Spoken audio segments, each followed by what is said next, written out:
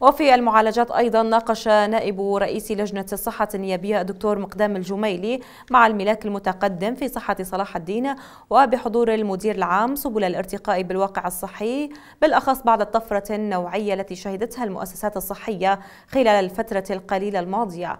إلى ذلك ثمن المخول بصلاحيات مدير عام صحة صلاح الدين الدعم المقدم من قبل لجنة الصحة والبيئة للدائرة من خلال الزيارات والاجتماعات المتكررة التي تسهم بتحسين الأداء على مختلف المستويات.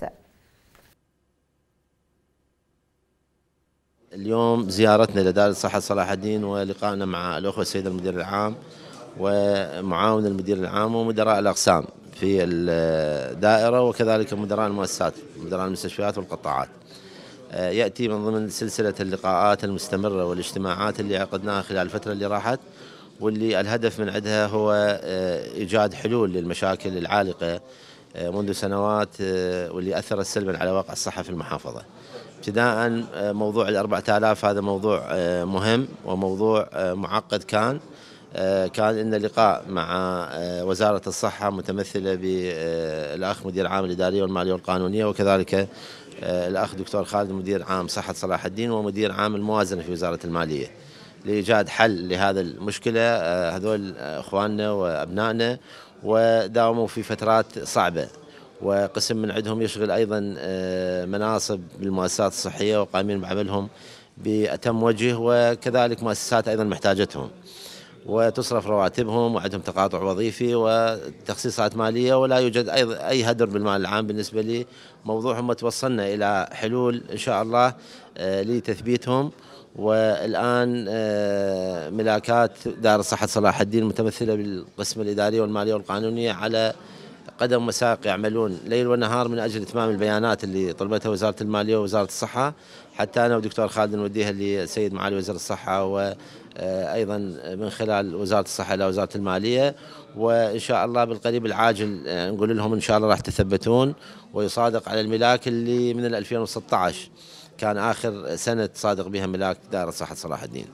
أيضا عندنا مشكلة بتأخر الموازنة التشغيلية بالنسبة لوزارة الصحة وهذا الموضوع عام لكل البلد وكل الوزارات بسبب وجود إشكالية في موضوع التمويل. آه، بس انعكس آه، أيضا سلبا على موضوع آه، ودخلنا في مشكلة مشكلة نقص الوقود للمؤسسات الصحية بالإضافة إلى موضوع تمويل شركة شركات التنظيف المستشفيات وكذلك الإعاشة. موضوع الوقود موضوع مهم. تواصلنا أنا والسيد المدير العام مع مدير توزيع صلاح الدين. متعاونا الأخ أستاذ عدنان وسوينا كتاب هسه دكتور خالد إلى فرع توزيع صلاح الدين للتواصل مع وزارة النفط حتى يجهزون دائرة الصحة ومن خلال الدائرة إلى مؤسسات الصحة بالوقود البنزين والغاز خاصة موضوع المولدات وموضوع سيارات الإسعاف وكذلك العجلات داخل الدائرة داخل المؤسسات الصحية. نعم اليوم مديرنا دار صحة صلاح الدين آه، إن شاء الله سيكون دعم كامل من مجلس محافظة صلاح الدين لدائرة صحة صلاح الدين. اليوم القطاع الصحي بالتطور نحو الأحسن نحو الأفضل بجهود الدكاترة والأطباء والسيد رئيس الصحة ومتابعة آه، السيد آه، نائب رئيس نائب البرلمان العراقي الدكتور مقدام الجميلي. سيكون دعم كامل إن شاء الله آه، من مجلس محافظه صلاح الدين للقطاع الصحي. تقدم بالشكر الجزيل آه، سيادة النائب الدكتور مقدام الجميلي على زيارته واطلاع على الواقع الصحي وإلى زيارة الشيخ علي الكريم عضو مجلس المحافظه الجديد آه، بالتأكيد الزيارات المستمرة والمتابعة المستمرة للدكتور مقدام باعتباره هو ابن دائرة الصحة صلاح الدين ويعني هذه المتابعة تثمر عن تشخيص الأخطاء، تشخيص التلكؤات ونعمل على يعني سوية متابعته عن طريق مجلس النواب ومع وزارة الصحة وبتكاتف كل الجهود على تجاوز النقاط المؤشرة، النقاط السلبية اللي تعيق تقديم الخدمات الطبية، إحنا مثل ما تطرق السيد النائب آه، في الفترة السابقة شخصنا بعض الأخطاء بعض التلكؤات وعملنا على تجاوزها من أجل رفع المستوى الصحي والخدمي. إن شاء الله في المرحلة المقبلة إن شاء الله بدعم من سيادة النائب من من مجلس المحافظة.